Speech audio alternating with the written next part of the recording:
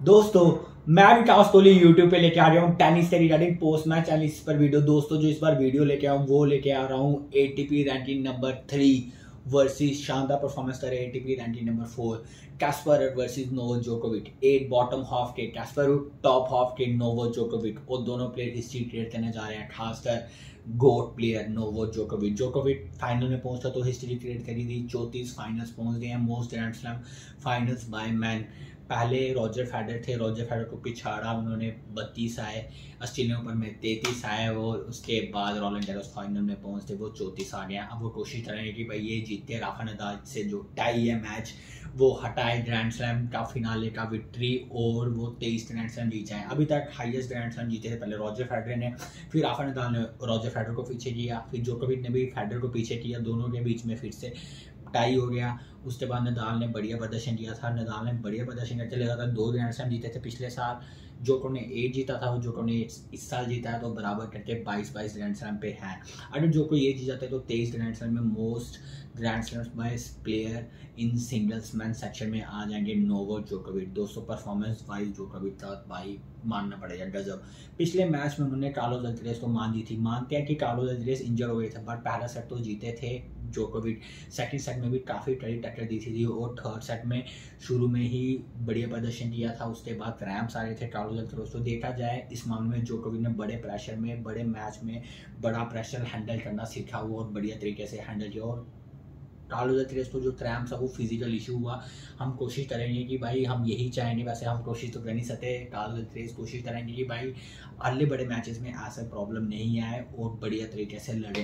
फ़िलहाल दोस्तों, इन दोनों के बीच में मैच के एनालिसिस ले आते हैं। उससे पहले एक बार बता दूँ भाई चैनल को सब्सक्राइब नहीं किया तो चैनल को सब्सक्राइब कर लीजिए नोटिफिकेशन बेल को क्लिक कर लीजिए ताकि सारी पोस्ट में प्री मैच सारे ब्लॉग्स एक्टिविटीज़ के रिगार्डिंग आपको तुरंत के तुरंत नोटिफिकेशन बेल मिल सके।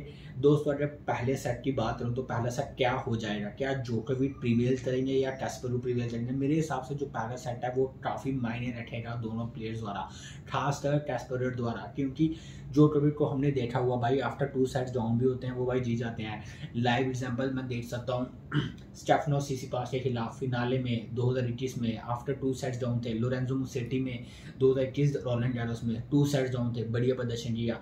उसके बाद विल्डन में पहला सेट हारे थे मैट्यू बैल्टेनी से, उसके बाद बढ़िया प्रदर्शन थे तीनों सेट जीते तो देखा जाए जोकोविक को हमने देखा है कि भाई वो बढ़िया प्रदर्शन करते हैं, दूसरे टेस्ट पर चाहेंगे कि पहला सेट वो जीते ताकि उनकी जो परफॉर्मेंसेज है, जो फाइनल की शुरुआत है, वो बढ़िया तरीके से हो। दूसरे जोकोविक चाहेंगे जल्दी जल्दी फिनिश किया जाए और बढ़िया परफॉर्मेंस उनकी कंटिन्यू रहेगा। क्योंकि उन्हें भी पता है कि भाई वो भी अभी इतना अच्छा नहीं खेल पा रहे थे बट उन्होंने अपनी फ़िज़िकल इश्यूज़ को असाइड रख के मैचेस में ज़्यादा अच्छा प्रदर्शन किया।